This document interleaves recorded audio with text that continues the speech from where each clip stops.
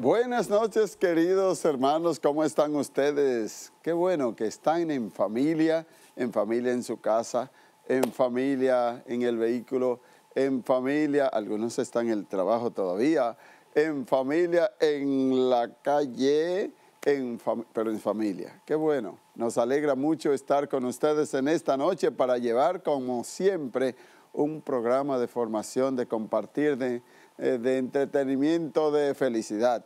Programa Familia Fuente de Vida. Pues queremos decirles que estamos contentos porque ha iniciado este domingo pasado el tiempo de Adviento, tiempo de espera, tiempo de preparación para recibir al Señor en esta Navidad. Qué bonito. Y además empezó diciembre, señores. Diciembre es el mes de la alegría. ¿A que sí? ¿Qué dicen los camarógrafos? ¿Sí o sí? Venga. Diciembre es el mes de la alegría, todo el mundo se alegra. El mes en que siempre vuelve Juanita, desde donde esté, vuelve Juanita. El mes de la familia, el mes en que todo el mundo se reúne con su familia, comparte con su familia. Es un mes hermoso. Me gusta diciembre, no sé a ti, pero a mí me gusta diciembre. Pero sobre todo por lo que significa diciembre, el mes de la natividad de nuestro Señor Jesucristo. Por eso en diciembre es Navidad, que viene de natividad. Y antes de Navidad, antes de esa natividad, hay que prepararse para esa natividad. Y el tiempo de Adviento es el tiempo de la preparación. Como es el mes de la alegría, yo quiero que reflexionemos hoy precisamente con el profeta Zacarías, que nos dice de la siguiente manera, alégrate ciudad de Sión, grita de júbilo Jerusalén, mira a tu rey que está llegando, justo, victorioso, humilde, cabalgando en un burro, una cría de burra, destruirá los carros de Efraín y los caballos de Jerusalén destruirá los arcos de guerra, proclamará la paz a las naciones, dominará de mar a mar, del gran río al confín de la tierra. Palabra de Dios. Te alabamos, Señor. Qué lindo. Ya era lo que decía, es el mes de la alegría. Por eso alégrate. Tú alégrate, como nos dice Zacarías. Grita de júbilo pero ¿por qué hay que alegrarse? Por el doble. También el doble, hay que alegrarse por el doble. Por las vacaciones. También hay que alegrarse por las vacaciones. Por el baile. También porque se baila muchísimo. Por la comida. También porque se come muchísimo. Por los aguinaldos. También. Por los arbolitos que hay donde quiera, por las cosas nuevas que se usan, la ropa nueva. Todo el mundo, aunque sea una media, se pone nueva en diciembre. Pero no es por eso, porque todo eso se hace por lo otro, por la natividad de nuestro Señor Jesucristo. Y por eso es el mes de la alegría. Me gusta este mes de la alegría. Todo el mundo debe alegrarse. Mire, aunque usted tenga problemas, con su esposo, con su esposa, con sus hijos, en el trabajo, dificultades, enfermedades, dígale no a todo eso, al aburrimiento, porque si no le van a decir, no se aburra. Así que nada de aburrimiento, eh, nada de estar con la cara como un machete voto o como dice el Papa, la cara de vinagre. En el diciembre no, deje eso para otro mes. En diciembre, alegría como nos dice ya esta lectura del profeta Zacarías. Alégrate, salta de gozo, salta de júbilo, porque tu rey ya está llegando, viene victorioso y viene para salvarnos. Así es que fíjense, es una lectura muy hermosa y precisamente el tema de hoy es sobre el adviento. Vamos a hablar cómo vive el adviento tu familia. Así es que quédense un momentito por ahí. Hoy tenemos unos eh, invitados especiales que nos van a hablar de eso y de su experiencia familiar y de su movimiento. Quédense ahí, que volvemos con ustedes en un momentito.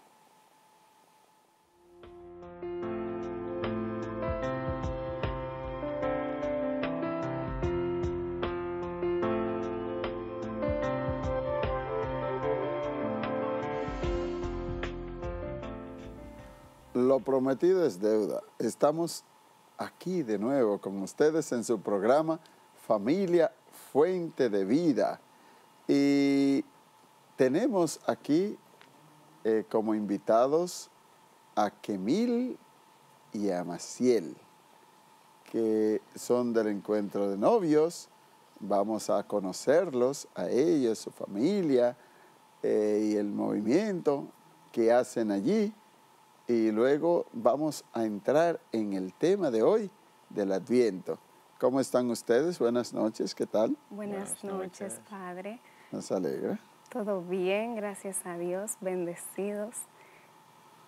Qué bueno, pues háblennos un poco de ustedes, de quiénes son, de dónde vienen, de qué parroquia, eh, qué hacen allí y, y luego sobre el movimiento, a ver. Bueno, nosotros somos Kemil y Maciel, una parejita jóvenes de esposos. Tenemos cuatro años de casados. Qué lindo. Eh, nos conocimos en el grupo juvenil de nuestra parroquia Nuestra Señora de la Evangelización. Y estamos en representación del Encuentro Católico para Novios, que ha sido de inmensa bendición en nuestra vida. Qué lindo. Sí, nosotros como como movimiento, que realmente ya tiene bastante años eh, haciendo pues ese encargo que nos ha dejado el Señor de, formar parejas para ya sea un futuro matrimonio consagrado. Estamos desde en el país desde el 87, pero el movimiento está del 74, que fue donde se creó eh, pues en Estados Unidos. Eh, que surgió realmente por la necesidad de tantos divorcios y problemas que había en ese, en ese instante. Ya aquí llevamos, por lo menos en la diócesis de Santo Domingo, 205 fines de semana del encuentro. ¡Wow! Eh, realmente es. un número súper interesante, pero además de, de, acá, de Santo Domingo, pues estamos en la diócesis de Baní, en Santiago, eh, en La Vega y en San Francisco. Y si Dios lo permite, pues seguimos ampliando eh, eh, a, otras provincias. a otras provincias también, a otra diócesis. Excelente, qué bueno. Eh, ¿Y qué, hace el encuentro católico para novios? ¿Cuáles son los objetivos? ¿Qué hace? ¿Cómo es el fin de semana? Bueno, lo que se puede decir, porque sabemos que hay algunas cosas que no se puede decir para que cuando usted vaya se encuentre con ellas. Eh, ¿qué, qué, qué, es, ¿Qué hace el encuentro católico para novios y ustedes allí en la parroquia qué hacen? Pues el encuentro católico para novios tiene como finalidad formar y concientizar parejas de novios para en un futuro tener un matrimonio sacramentado, porque como estamos en la actualidad, eh, falta de, de muchísimos valores como, familia. El encuentro para novios se encarga de fomentar esos valores, de concientizar a, esos novios, porque desde ahí empezamos a hacer familia. Em, con una serie de talleres eh, dentro de unos fines, dentro del fin de semana, que es lo que hacemos como, como movimiento, preparamos un fin de semana de tres días para las parejas de, novios, donde ellos viven eh, experiencias maravillosas que como usted bien mencionó, son ahí bien vividas y ahí se quedan por cada pareja que, asiste. Y bueno, eh, es un movimiento hermoso porque nos ayuda a ver desde otra perspectiva lo que es el matrimonio, el matrimonio sacramentado, porque ahora vemos muchos jóvenes que se casan por el civil por el miedo al compromiso mayor que implica realmente casarse por la iglesia. Pero después que usted hace este fin de semana, usted sale de ahí queriéndose casar al otro día por la iglesia, porque realmente es, cambia mucho la perspectiva de, ver el matrimonio. Qué bien, qué bien. ¿Y, ¿Y qué ustedes hacen allí en la parroquia Nuestra Señora de la Evangelización, donde eh, residen y trabajan? Iniciamos realmente sirviendo como jóvenes en nuestra comunidad de, adolescentes y hoy en día ya esposos pues formamos parte de la formamos parte de, la pastoral familia y vida que realmente ha sido de gran bendición para nosotros y eh, dándoles ese al Señor cada vez que nos necesitan en la iglesia pues servimos eh, en actividades Igual ahora también eh, en esas actividades que se hacen en noviembre, que era el mes de la familia, pues también aportamos nuestro granito de arena. ¿Ustedes estaban en un paso por mi familia? Como movimiento. Como movimiento sí representamos. Realmente nosotros, por mi condición médica, que fue, me, recién operé en ese entonces, pero como movimiento sí estuvimos siendo la parte organizadora de este año como Movimiento Católico para Novios. Realmente, eh, según los videos y las experiencias, fue muy gratificante y muy, o sea, muy, muy de Dios. Eran encargados del protocolo. Del protocolo. Así es. Estábamos eh, dándole los pops de los valores y ahí apoyando también a los sacerdotes dentro de la... muy hermoso que hicieron, sí, sí. y, y ahora también ustedes son instructores del método Billings. Así es, para la gloria de Dios hemos conocido también de este maravilloso método que nos tiene fascinados cada día más, donde se une la ciencia con la divinidad de, nuestro Creador. Sí, realmente es un trabajo muy bonito eh, que yo pues también soy asesor de, este método en, el, aquí en República Dominicana. Y que bueno, se nos fue Ezequiela, pero nos quedó la doctora. Ahí estamos. y nosotros para, Quedamos pues, para, ayudarla también. Sí, que este tenemos que ayudarla a las dos, porque ella sigue trabajando desde sí, allá. Claro. claro que sí. Pero sí, fue un gran trabajo que hizo Ezequiela Ortiz, o que sigue haciendo. Continúa eh, en, el, este, el método Billings, método natural para los matrimonios que están en, sobre todo los que están en edad fértil, pero también para todos, porque mediante el método se puede conocer, se conoce eh, al, al, matrimonio, se conoce cada vez más, sobre todo la mujer conoce cómo funciona su cuerpo y, puede, pues sin eh, dañar su cuerpo, pues saber cuándo eh, tener un bebé y cuándo espaciarlo sin tener que utilizar ningún tipo de método artificial que de algún modo hace daño a, la, pareja completa. Eh, por eso que bueno, ojalá que que eh, todos los, todas las parejas jóvenes, los novios, los esposos eh, que están en, edad eh, fértil, que todavía pueden tener los hijos, que es bueno que sepamos que hay que estar abiertos a la vida. Claro que sí. Porque si no se está abierto a la vida, miren, hoy en día es triste que por la esa, ese control poblacional, control natal que se está llevando a cabo a nivel general, sobre todo a partir de, Thomas Robert eh, Malthus de 1798, con ese libro An Aside from the Principle of Population. Igualmente, luego Rockefeller, Margaret Sander, en la década de los 50, pues se ha llevado a cabo una, un control eh, de la natalidad, llegando hasta eh, el mínimo de, natalidad y a veces menos del mínimo eh, de lo que de la tasa que se debe tener como mínimo para el reemplazo de la población, que es bueno que sepan que son 2.1 niños por pareja fértil que se debería tener para eh, suponer el reemplazo de la, de la población. Hay países que el control natal ha sido tan brusco que están por debajo del 1%. ¿Qué quiere decir? Que ahí, en esos países, sobre todo en los países de Europa como España, Francia, eh, Alemania, Italia, pues se están convirtiendo, y primero Japón, en países de viejos.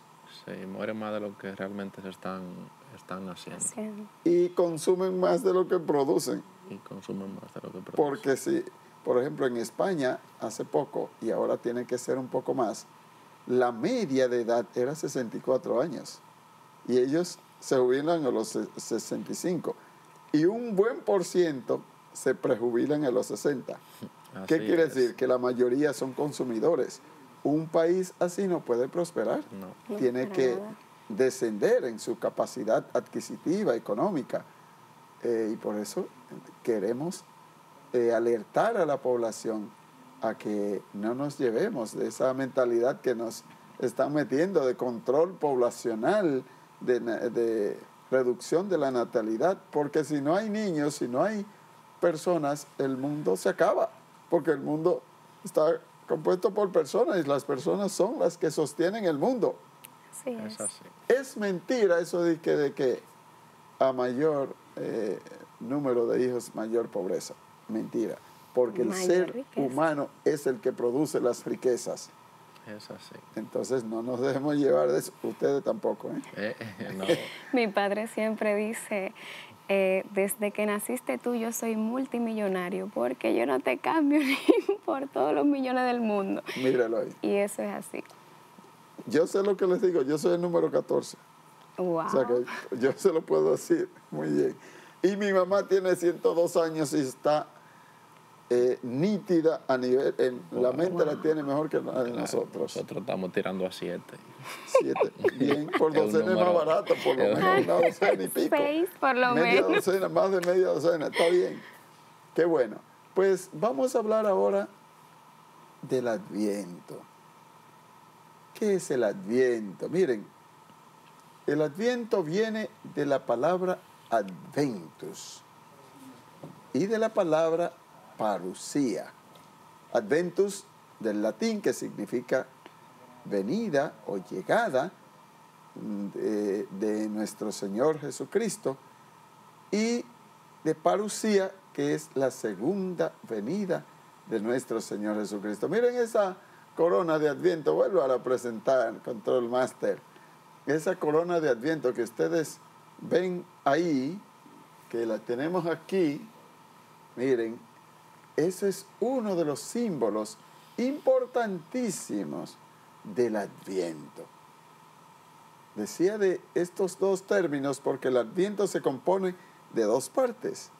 La primera parte, que paradójicamente es la, se llama adviento escatológico porque se prepara la segunda venida, los tiempos finales. Por eso eh, eh, del escatón final. Y ahí hay unos eh, autores, unos personajes muy interesantes, sobre todo el profeta Isaías, que nos prepara para esa segunda venida y nos habla de esa esperanza, de cómo será eh, cuando vuelva nuestro Señor Jesucristo. Que este es de, va ese tiempo desde el primer domingo de Adviento hasta el 16 de diciembre a partir del 17, del 17 al 24 ya es la, se prepara la primera venida porque ya estamos inminentemente esperando a Jesucristo que nace y queremos que nazca entre nosotros y se llama Adviento inminente porque esperamos ya la inminente venida de nuestro Señor Jesucristo. Hablaba de esos personajes principales que son Isaías, Juan el Bautista y María. Obviamente el principal personaje, sabemos quién es, el que viene a nacer, Jesucristo. Eh, y también esos símbolos, ya ven en la, en la corona que acabamos de poner, cuatro velas, porque nosotros vamos caminando progresivamente hacia la luz. Por eso vamos encendiendo una vela cada semana, eh, dos primeras velas moradas, es un tiempo de austeridad, por eso el morado, eh, y una tercera que es ya rosa, porque ya nos está anunciando ah, que ya pronto viene el Mesías y por eso nos alegramos. Ese domingo se llama Domingo de Gaudete o de gozo y alegría. Yo quiero que ustedes nos hablen también del Adviento y de cómo ustedes viven en su familia el Adviento. Bien, para nosotros el Adviento es una época preciosa, un tiempo de gracia, porque nos une más como familia.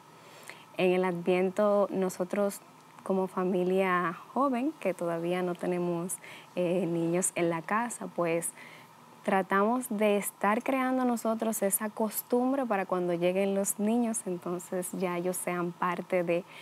Em, cuando vamos a colocar el árbol de Navidad, invitamos a la familia, eh, llegan mis padres, mis hermanos, y hacemos ese, o sea, ese, ese encendido del árbol como algo íntimo nuestro. Eh, ponemos es el nacimiento, claro, sin el niño Jesús, porque todavía no, no ha nacido. Esto para mí es preciosísimo, como preparar eh, dentro de la casa, que el hogar sienta em, este tiempo también, que se sienta esta armonía dentro de, de nosotros, nos ayuda a prepararnos para esa venida, ¿verdad? Que todos necesitamos. Es como refrescarnos nuevamente, como renovarnos, eh, dejar a nacer a Jesús en nuestro corazón. Es algo que nos cambia cada año, cada año nos cambia ponemos nuestra coronita de Adviento y cada domingo pues vamos a, la Eucaristía, vivimos con la comunidad, la Eucaristía, el Evangelio, pero también en la noche eh, encendemos nuestra velita de, ese, de esa semana y hacemos un momentito de oración, de alabanza, y es algo para mí que eh, no tiene precio, realmente las cosas de, de Dios siempre dan vida.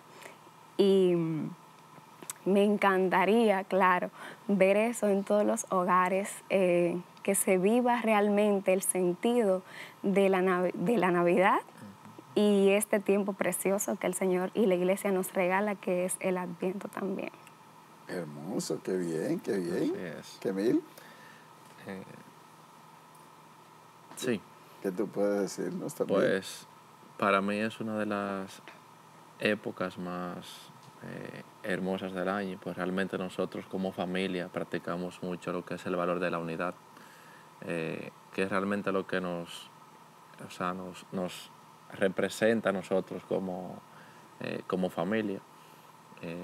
todas las actividades que hacemos es unidos, ya sea con la familia de mi esposa, con mi familia en general, y pues compartimos con ambos en esta época que realmente el sentido que debemos darle es, Jesús, pues es, es, su nacimiento y es pues lo que realmente necesitamos nosotros para sentirnos eh, plenos, que es pues ese, ese amor de nuestro Señor Jesucristo.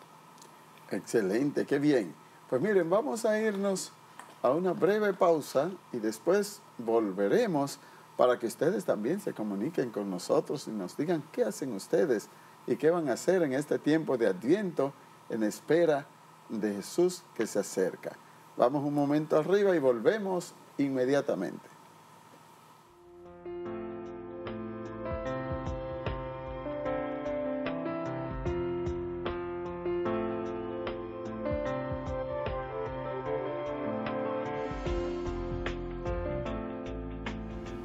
Qué bien, qué bien que estamos aquí y, y me alegra mucho lo que decía Maciel, porque ella y yo estamos claros de que este es un tiempo de alegría, que la gente se alegra y esa preparación, y qué bonito ustedes viven el adviento realmente, eh, porque la familia es como una pequeña iglesia, por eso se le dice iglesia doméstica a la familia. Y lo que se hace en la iglesia debe hacerse en la familia realmente. Así es. Qué bonito. Eh, así es que estamos aquí y nos gustaría que ustedes también se comuniquen con nosotros, los que nos siguen a través de Televida y Vida 105.3 FM, para que nos cuenten su experiencia sobre el Adviento. ¿Qué hacen ustedes en Adviento? Eh, ¿Qué se hace en su familia? Pero si quieren hacerles alguna pregunta aquí a Kemil y Maciel, ya sobre el Adviento, sobre el encuentro católico para novios, si los novios quieren hacer ese encuentro, pues también. Si quieren preguntarles sobre el método Billings, que también ellos son instructores, cualquier cosa, o a mí, o contarnos su experiencia. También si quieren hablarnos un poco de un paso por mi familia, que recientemente ya ustedes ven cómo el Señor nos bendijo con este día 24 del mes pasado en que celebramos la versión número decimotercera de Un Paso por mi familia. Cuánta gente y qué eh, contenta estaba la familia allí en Un Paso por mi familia, ese trabajo de los movimientos, qué bien lo hicieron, eh, ese trabajo del staff de Un Paso por mi familia eh, y de todas las familias que fueron. Pues 809-685-4100 pueden comunicarse con nosotros y que nos cuenten si es verdad, si para ustedes también eh, diciembre es un, es un mes de alegría y si para ustedes también el adviento es un tiempo de gracia como lo vivimos nosotros. Fíjense, en mi parroquia, pues ya estamos preparándonos desde la primera semana de Adviento nosotros hacemos el retiro de Adviento. Ya el lunes, martes y miércoles, ayer culminábamos nuestro retiro de Adviento. Hermosísimo. Y es bueno que ustedes sepan que el Padre Tulio Cordero Lo amamos. lo tuvimos Es, el, el martes por aquí. Excelente sacerdote lo amamos. lo fue amamos. mi profesor, eh, buen sacerdote, y, y lo tuvimos con ese tema de, del Adviento y de la esperanza. Qué bien lo dio, la gente quedó muy contenta en nuestra parroquia. Eh, y empezamos siempre con el retiro y nos vamos preparando. Eh, la gente ya se va preparando para el nacimiento, eh, para preparar el Belén. Yo no, no acepto que se ponga muy temprano porque hay gente que empieza desde septiembre ya está poniendo nacimiento. Desde septiembre ya está poniendo arbolito. No espérese porque no ha empezado ni el adviento y ya te está celebrando Navidad. Las extensiones, los- las luces están desde septiembre. Cuesta un poquito contenerse, padre, pero sí, Pero- la manera correcta Pero la- es esperar a la, la- primera semana del Adviento para poner el nacimiento. por lo menos mínimo. De hecho, es del die- el 17 para adelante, porque ahí es que ya empieza esa parte No. del adviento inminente, Claro. que ya nos preparamos para eh, la venida de Jesucristo, el nacimiento de Jesucristo. Pero ustedes los dominicanos, desde septiembre ya están prendiendo luces, poniendo belenes, por todas partes los arbolitos, por todas partes ya están es. poniéndolos. Porque es bueno que lo sepan, el dominicano es el- la persona más alegre que hay. Realmente. Hace poco definían a República Dominicana como el país más alegre del mundo. No se Yo lo equivocan. creo. No se equivocan. No se equivocan.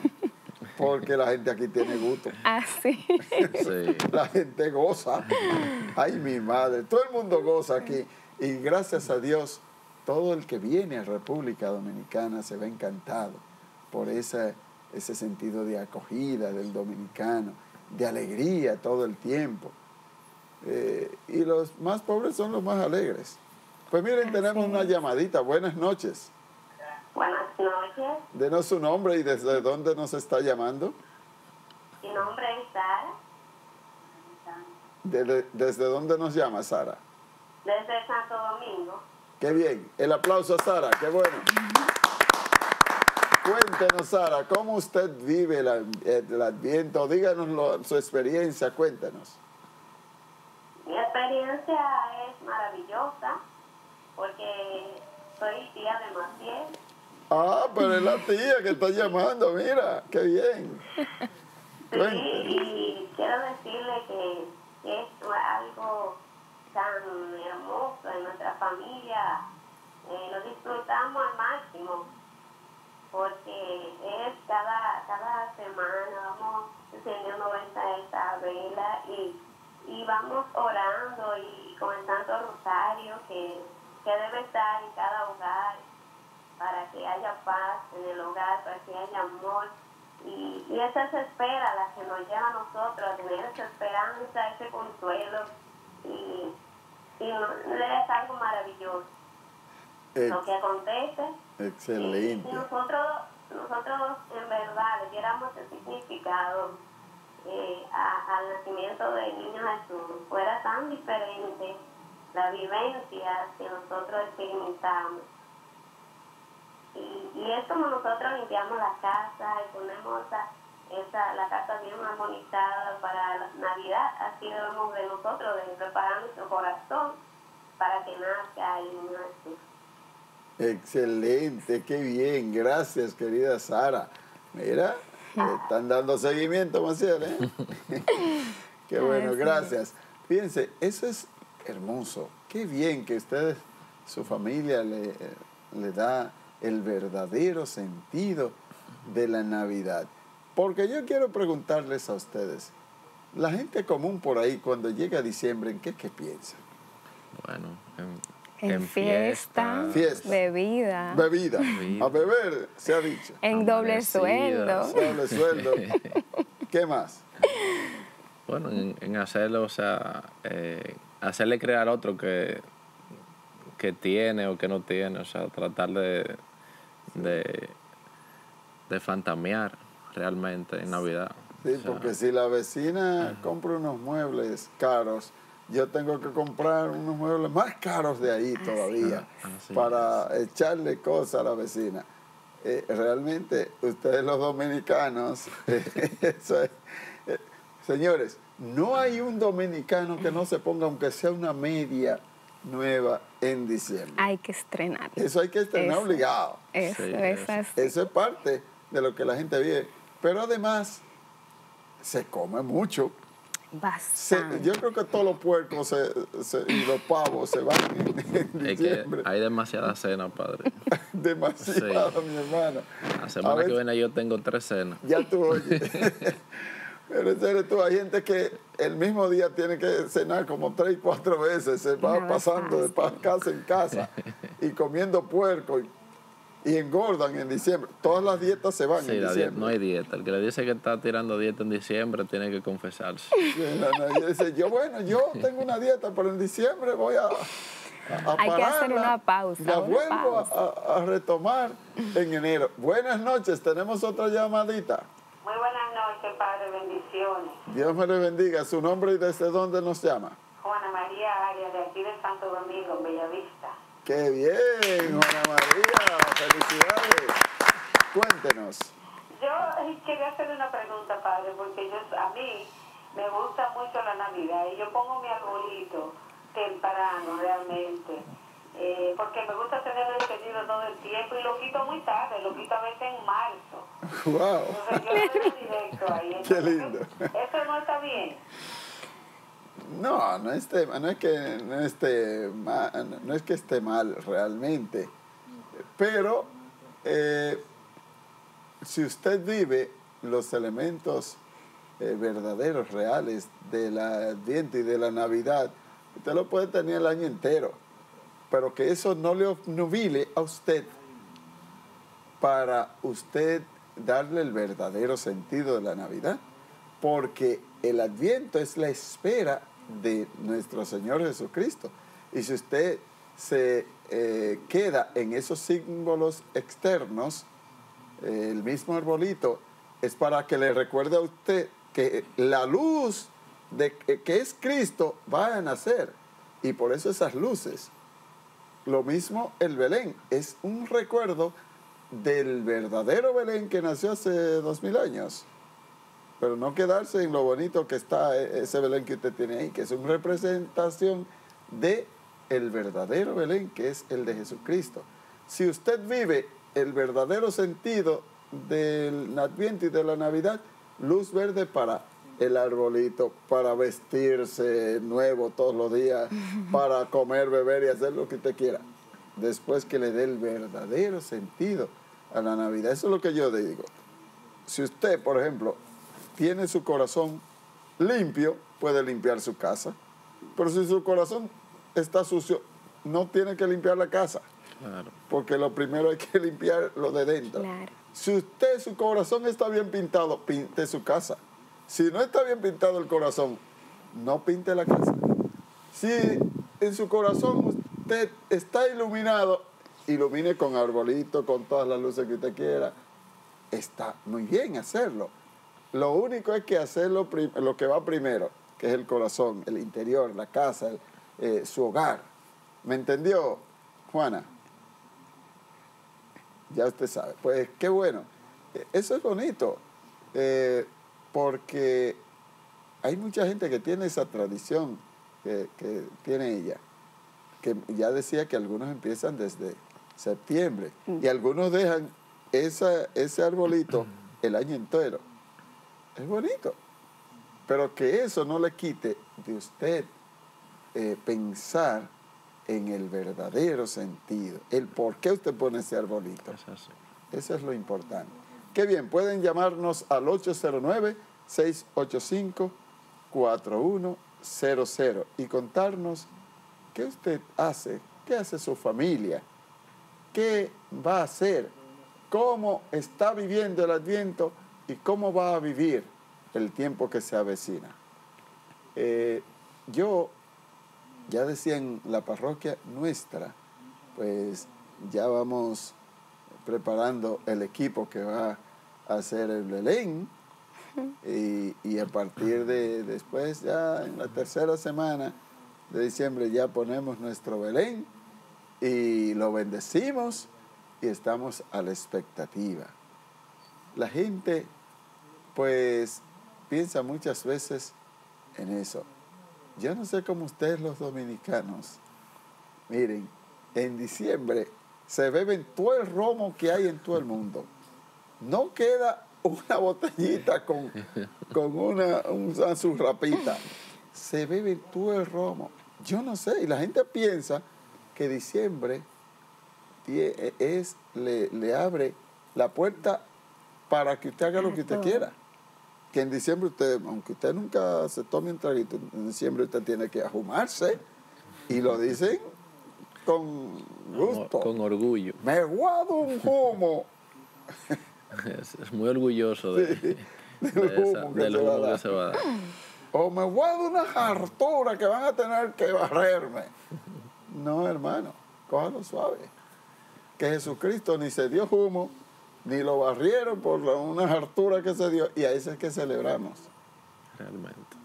Así es. Pero sí, haga lo que usted quiera después que usted tenga a Jesucristo en su corazón. Así es. Eso es lo importante. Eh, y eh, ustedes en, en, su casa como tal ya, ya pusieron la corona y el Belén.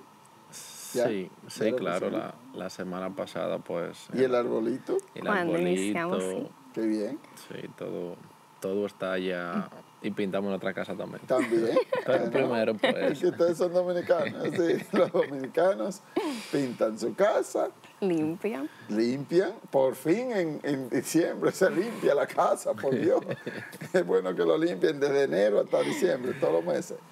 Y ojalá que todos los días, pero por lo menos en diciembre la gente pi- limpia, pinta y, y compra ropa nueva. ¿Ya compraron la ropa nueva ustedes? Todavía no nos han dado chance, Ah, pero para allá vamos. Pero lo van a hacer. Claro. Desde que caiga el doble, pues. hay una parte destinada a eso. Ya, Ay, ay, ay. ya se está comprometido. Así es. Mire, me siento muy identificada con la señora que llamó anteriormente, Sí. porque eh, cuando vivía con mami, nosotros poníamos ese árbol como desde octubre. De, verdad. Sí, más sabor navideño el 15, nosotros poniendo el arbolito ese mismo día.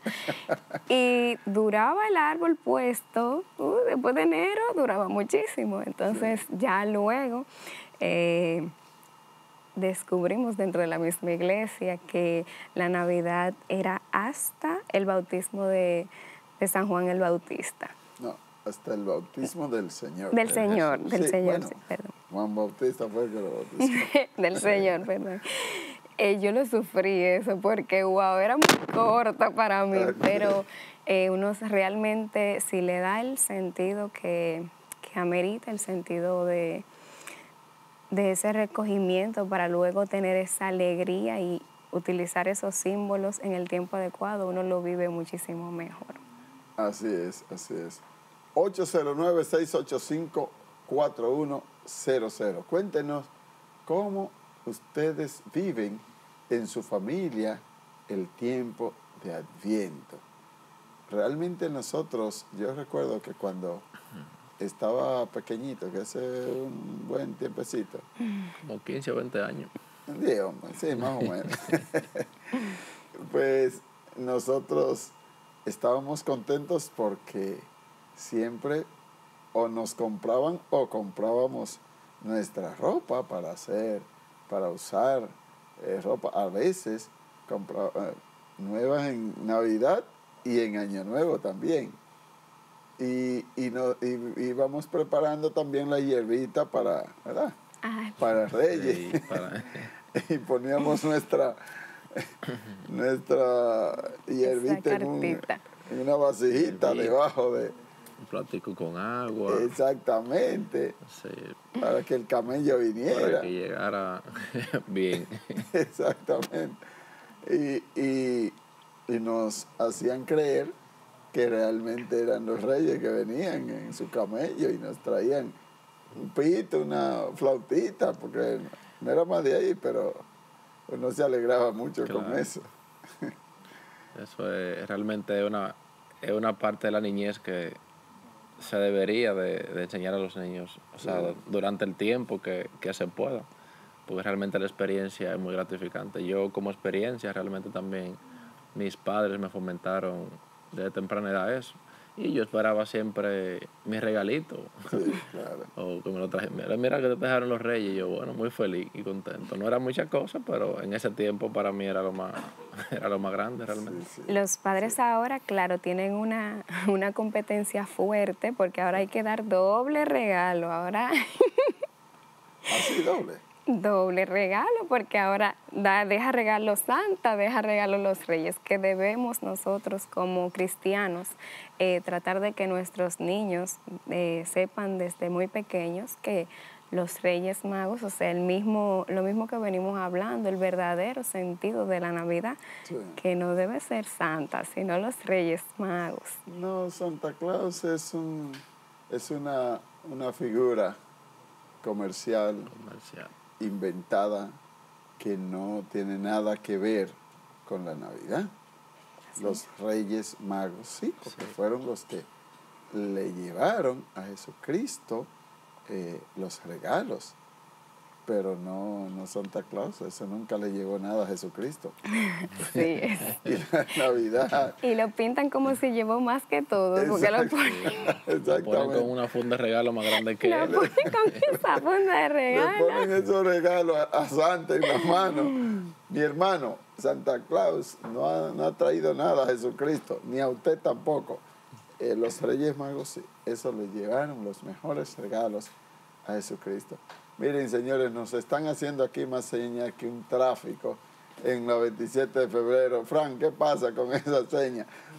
Le voy a decir a, a, a Osoria, a General Osoria, que te controle, porque tú estás haciendo muchas mucha señas como los tráficos. Pues agradecemos mucho a ustedes que nos han seguido en este programa, a ustedes, queridos Maciel y Kemil, y al movimiento Encuentro Católico para Novios. Eh, y yo quiero que finalmente una exhortación rapidito para que no nos saquen de aquí a patadas. Una exhortación a los novios.